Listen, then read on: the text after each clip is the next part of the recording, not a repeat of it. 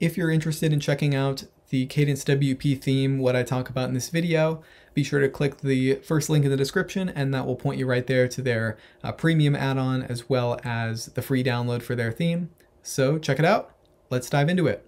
Many Lifter LMS users have been turned on to a theme called Kadence WP that's been designing some specific features for Lifter LMS, such as customizing the dashboard, customizing the course catalog page, and some specific Lifter LMS features that most themes don't have.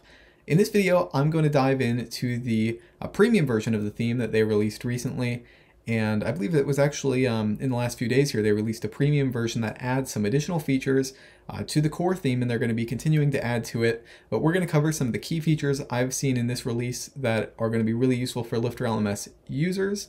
My name is Will Middleton from WPCourseGuide.com. Let's dive into it. All right, so the free Kadence WP theme, I'm currently using it on my uh, template website here. It's a lightweight theme that has um, some nice features. Um, and in the free core theme, there are some Lifter LMS features for customizing the catalog and dashboard. So you don't need the paid version for some of those basic features. You can find those in the customizer. If I go here at the top and click customize, and then check out some Lifter LMS features, you can customize your dashboard page. Uh, if I head over to the dashboard page now, click on that here. I have some options for what I want my my dashboard here to look like, and they have all sorts of layout options for your course catalog and everything like that. But in the premium theme that they released in the last few days here, uh, these are the core add-ons, the core um, elements they have included in their paid theme right now. And of course, they're going to add some more Lifter LMS paid features um, in the future, but at the moment, I wanted to highlight a few key ones for Lifter users. So of course, um, in the Kadence WP theme here, I'm going to do a little bit of flipping back and forth between these features and actually on my website here. So if I hop out to header, um, I have these available items in the free Kadence theme I'm on right now. Let me actually hop over to my account quick and download the Kadence Pro add-on right here. This is a plugin you add to your site to enhance the free theme. So let me go to my plugins area, and pop this back up on my website real quick. I headed to plugins, add new, upload plugin. I'm just going to add this uh, right to my site, install now. And we'll give it a second to install there. And then we'll take a look at some of the uh, premium features. All right, there it goes. Uh, just finished installing. I'm going to click activate plugin and this is going to, there we go. Now it's activated. So if I head to appearance Kadence right here under appearance Kadence I have a few options I can turn on. So currently I'm working with um, these core navigation items I can add to my header if I wanted to have a search or something like that. I can easily drag and drop it up to my header and you'll see I have a search bar there. But if I hop over back to the Kadence settings here I'm going to turn on this header add-ons from the Kadence pro and then reload my customizer here and I'll have a lot more options under header and there we go. We have a lot more available items to work with if you wanted to put links over to your social and whatnot. There's all sorts of cool features to look at there. So then I'm going to hop onto hooked elements and ultimate menu last because I think those are some of the uh, highest impact features for most Lifter LMS users. But uh, some other features they have included in the Pro plugin are fixed elements. So if you wanted a banner to stick to the bottom of your page, you could use uh, this for that as well as a few other options. If you are into adding uh, some custom code to your website, uh, the Kadence Pro makes that a little bit easier. And if you're using WooCommerce, there are some specific features for you here. Uh, you can see down here in the corner some um, neat cart features and shop features that are available at the moment. Um, but to highlight some of these features here, the hooked elements is a really neat feature. Uh, let me show you what that one does. So for that one, I'm going to hop actually out of the customizer and this allows you to pretty much create content inside of shortcodes that you can embed anywhere you want on your website. So if I go to the backend of my WordPress website, let's turn that feature on under Appearance Kadence. And then I want to enable hooked elements. Go ahead and toggle that one on. And now if I just reload the page here, it'll be under Kadence right here, Kadence Elements. Just have to reload because I just turned it on there.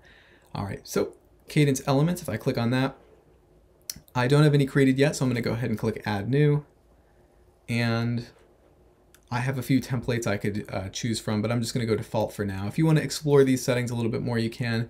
But one key feature here is if you wanted to create some maybe um, master course, child course style content or one piece of content that you want to display in multiple places on your website, you can do that here. So if I was running maybe a health course that uh, encouraged diets, for example, I could have maybe the vegan diet example here, and then what I'm gonna do is build out my vegan diet meal plan, I guess is what I'm doing here. So if I go to list, and then I'll say grapes, apples, bananas, that's gonna be on my diet. And of course you could build out this however you wanted to, and it doesn't have to be for a diet, just kind of any element you want to display in multiple locations, but only edit in one place. So uh, I'm good with my diet plan here, and for my health diet course, I would have um, you know, all of my diets made out as elements, and then I can use the shortcode to place them on my website. So let me show you that here. Um, for displaying my uh, vegan diet here, I want to uh, go to the element settings up here in the corner. And if you don't see this, if it's a different looking sidebar for you, you want to make sure you're selected on element settings, this little icon here in the middle. And for placement, I am going to actually leave that one blank. This is an interesting feature. If you wanted to say before site wrapper, and then I'll go to display settings. I want to display before the site wrapper on all of my pages, my entire website. Let me go ahead and publish that real quick and show you what you can do with this. So if I reload my home page, let me actually um, purge the cache here. There we go. So now my vegan diet's displaying on all on my entire website above my uh, header here. So I wouldn't want to display this up here, but if I had like a, a discount code or like some sort of an announcement, like a banner I wanted at the top, this is a great way to do that as well. You don't just have to use it for like content you want to display in multiple locations. But uh, back to what I was doing, I want to uh, not use placement settings. I do want to show on my entire website because I want to be able to put the shortcode wherever I want in lessons in my course. And then for user settings, uh, make sure that's set to all users and you should be good to go. Of course, there are some more settings you could dive into if you only wanted this to show on mobile or uh, if you wanted it to expire on a certain date. Um, your, if you had like a banner or something like that with a discount code for a specific month, you could use this setting for that. But for now, I just want to have a shortcode I can place anywhere I want to. So now that I have uh, my shortcode published or my element published, I need to go get the shortcode that I'm going to place onto my uh, Lifter LMS lessons. So here's the shortcode. If you go to Kadence Elements, you can see the shortcode for all of your elements you've created. I'm just going to copy that to my clipboard and go ahead to Courses, and then just go into one of my example courses here. And I'm going to edit a few of my lessons, and I'm going to drop this shortcode in a few different lessons here. And so if I want my diet, we'll put it right here. I'm just going to add a shortcode block right here in my lessons course, if you're using a page builder, each page builder has a different way to embed a shortcode. So let me just throw my shortcode in a few of my lessons here.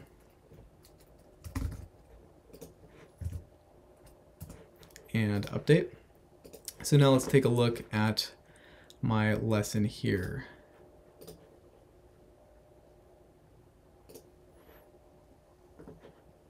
All right, so there we go. So I have my diet plan showing up here on my first lesson and then let me pull up the second lesson here. Select out of the editor and there it is, my diet plan. So now my diet plan is displaying on both of my lessons. Um, but if I wanted to change my diet plan, I have a lot of tabs open here. Let me go back and uh, go edit my element. So if I go to Appearance, Kadence, Elements, I can go change my vegan diet and it's going to automatically change on uh, both of the, my lessons. So I had grapes, bananas, I'll add pears to the list, update, and then go reload my introduction. It automatically has pears on it. And then over here, it's going to populate the same thing. So now you have pears populating anywhere you have that shortcode. So now anywhere the shortcode is, it's going to display whatever I add here in my element.